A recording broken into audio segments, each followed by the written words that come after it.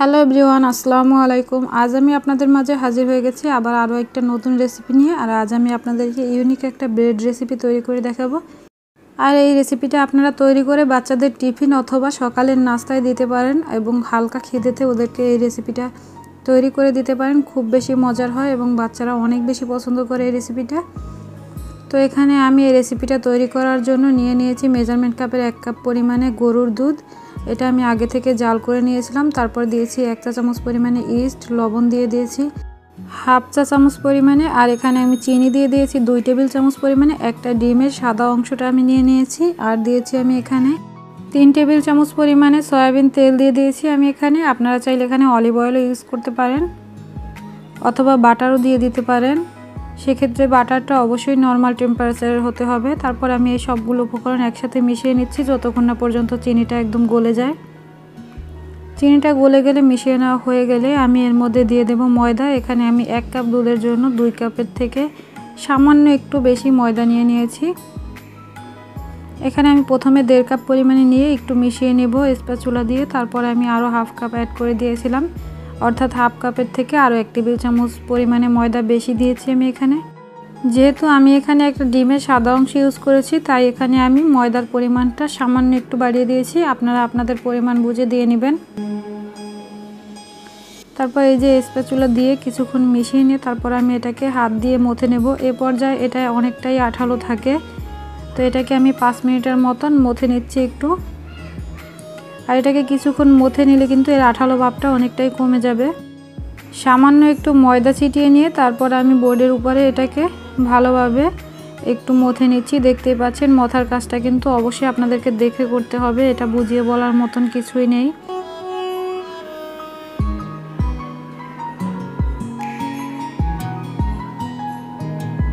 মথে নেওয়া হয়ে গেলে তারপরে আমি এটাকে একটু হাত দিয়ে এরকম গোল করে তারপরে মিক্সিং বোলটার মধ্যে রেখে তারপর এর উপর থেকে সামান্য একটু তেল আমি আবারও হাত দিয়ে একটু লাগিয়ে নিচ্ছি পুরোটা ডোয়ের গায়ে।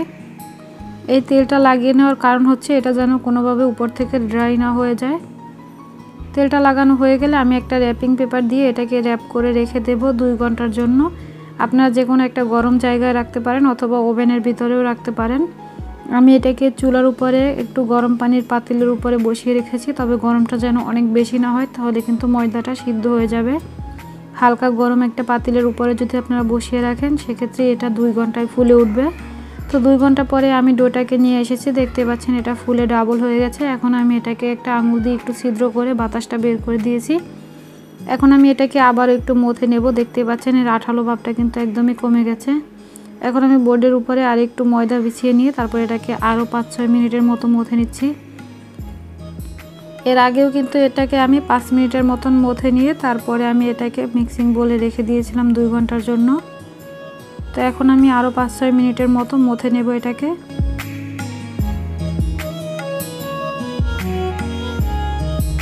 মথে নেওয়া হয়ে গেলে আমি এটাকে একটু সমান ভাগে দুটো ভাগ করে নিচ্ছি।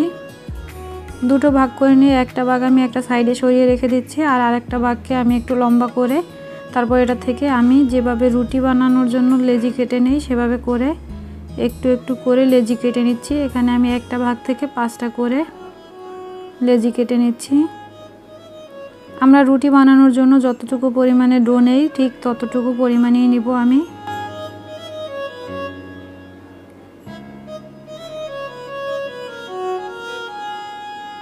এখন আমি এগুলোকে একটু গোল গোল বলের মতন করে শেপ দিচ্ছি শেপ দিয়ে একটা সাইডে সরিয়ে রেখে দিচ্ছি। এভাবে করে আমি সবগুলোকে তৈরি করে নিচ্ছি। দেখতে পাচ্ছেন, সবগুলো আমার তৈরি করে নেওয়া হয়ে গেছে। আমি এখন এগুলোকে একটা র্যাপিং পেপার দিয়ে একটু ঢেকে রেখে দেবো, যাতে করে এর উপরটা ড্রাই না হয়ে যায়। ঢেকে রেখে একটা সাইডে তারপর আমি এটাকে একটা একটা করে নিয়ে বেলে নেব রুটির মতো করে।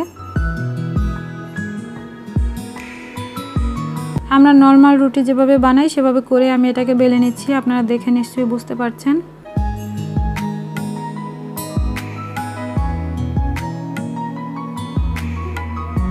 এভাবে করে প্রতিটা রুটি আমি বেলে নেব।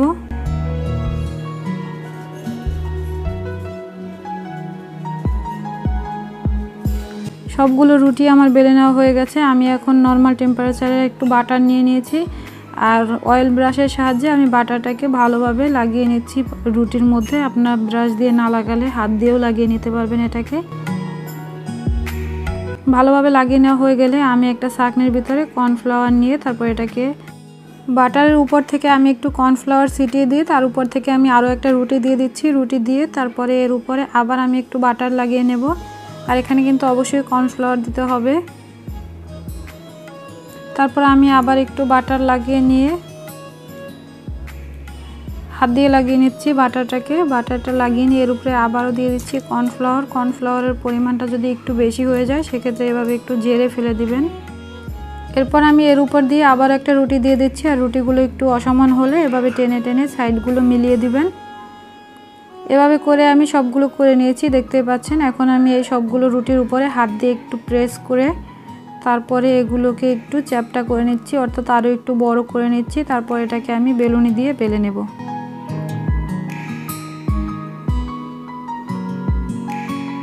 হাত দিয়ে চেপে চেপে একটু বড় করে নেওয়া হয়ে গেছে। আমি এখন এর উপরে একটু ময়দা ছিটিয়ে দিই তারপর এটাকে আমি বেলে নিচ্ছি। এটাকে আমি চারকোনা শেপের বেলে নেওয়ার চেষ্টা করব, যতটা সম্ভব।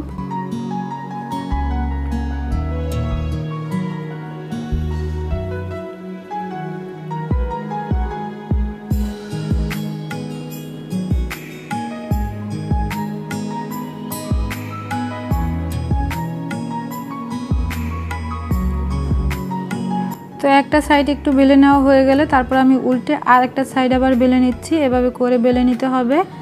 তো আমি এখন পুরোটাকে বেলে নিয়েছি এরকম চারকোনা শেপ করে। এরপর আমি এর মধ্যে একটু মধু লাগিয়ে নিচ্ছি একটা ব্রাশের সাহায্যে।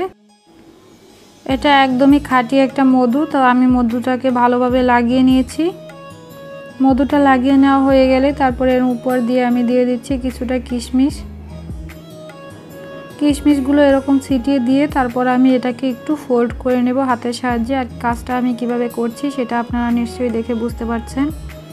একটু ভালোভাবে খেয়াল করলেই বুঝতে পারবেন যে কাজটা আমি কীভাবে করছি, একদমই সহজ। এভাবে হাতের সাহায্যে আমি একটু এটাকে ফোল্ড করে নিচ্ছি।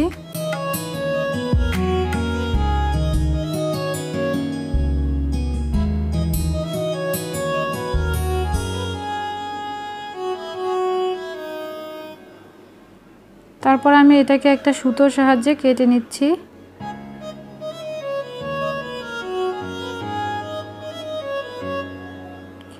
এক থেকে দেড় ইঞ্চি আপনাদের পছন্দ মতো আপনারা চড়া করে কেটে নেবেন এটাকে।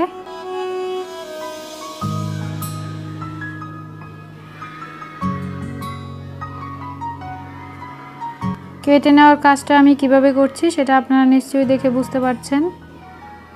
সবগুলো আমার কেটে নেওয়া হয়ে গেছে। আমি এখন একটা প্লেটে একটা কাগজের সাথে তেল ব্রাশ করে তারপর সেই প্লেটের মধ্যে নিয়ে নিয়েছি আমি এগুলোকে। তারপর একটু হাত দিয়ে, চাপ দিয়ে দিয়ে একটু চ্যাপটা করে নিচ্ছি। এতে করে এটা দেখতে আরও বেশি আকর্ষণীয় লাগবে। আর এরকম একটা রেসিপি যদি আপনার বাচ্চাদেরকে তৈরি করে দেন, এরা কিন্তু খুবই ভালোবেসে খাবে। যেহেতু এটার মধ্যে মধু আছে, তাই এটা আরও বেশি পুষ্টিকর। আমি এখন একটা ডিমের কুসুমের সাথে একটু হাফ টেবিল চামচ পরিমাণে দুধ নিয়ে তারপর এটাকে একসাথে মিক্স করে এখন আমি এই ব্রেডের গায়ে লাগিয়ে দিচ্ছি।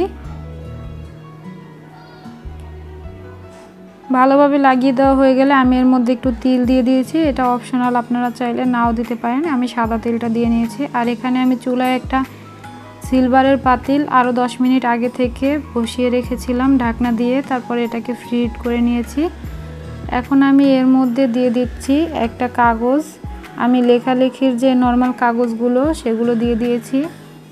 এখানে চার পিস কাগজ আছে, তার উপরে একটা স্ট্যান্ড বসিয়ে তারপর দিয়ে দিয়েছি। নিচে একটা মোল্ড তারপরে এর উপরে দিয়ে দিচ্ছি যে স্টিলের প্লেটের মধ্যে রেখেছিলাম যেগুলো, সেগুলো দিয়ে দিয়েছি। আমি এটাকে ঢেকে রেখে দিচ্ছি একটা সিলভারের ঢাকনা দিয়ে। অবশ্যই এটাকে সিলভারের ঢাকনা দিয়ে ঢেকে রাখবেন। সেক্ষেত্রে কালারটা একদমই ওভেনের মতন আসবে। তো আমি এটাকে 20 থেকে পঁচিশ মিনিটের মতো মিডিয়াম আছে বেক করে নিয়েছি। একদম লো আছে বেক করবেন না, সেক্ষেত্রে কিন্তু উপর থেকে কালারটা আসবে না। দেখতেই পাচ্ছেন একদম ওভেনের মতন কালার চলে এসেছে, আর এটা দেখতে কতটা কতটা সুন্দর হয়েছে। এখন আমি এগুলো গরম থাকা অবস্থায় এর গায়ে একটু মধু ব্রাশ করে দেব। এখানে কিন্তু আমি কোনো তেল ব্রাশ করছি না। অথবা কোনো বাটারও ব্রাশ করছি না। এটার গায়ে আমি মধু ব্রাশ করে দিচ্ছি আর এতে করে এটা খেতে আরও অনেক বেশি টেস্টি হবে এবং অনেক বেশি স্বাস্থ্যকর হবে বাচ্চাদের জন্য। তো এই তো দেখতেই পাচ্ছেন, ব্রেডটা কতটা সুন্দর হয়েছে। এর নিচের অংশটা একদমই সফট আছে। কোনোভাবেই নিচের অংশটা পুড়ে যায়নি অথবা মুচমুচে হয়ে যায়নি। আপনাদেরকে আমি একটা ভেঙে দেখিয়ে দিচ্ছি যেটা কেমন হয়েছে দেখতে। এ পর্যায়ে এসে আপনাদের কাছে আমার একটাই রিকোয়েস্ট রইল, যদি আমার ভিডিওটা আপনাদের কাছে একটুও ভালো লেগে থাকে, তাহলে অবশ্যই আমার ভিডিওতে একটা লাইক করে দেবেন, চ্যানেলটা সাবস্ক্রাইব করে পাশে থাকা বেল নোটিফিকেশনটা অন করে দেবেন। আজকের মতো এখানেই বিদায় নিচ্ছি, সবাই ভালো থাকবেন, সুস্থ থাকবেন, আমার জন্য দোয়া করবেন এবং সবার জন্য দোয়া রইল। আল্লাহ হাফেজ।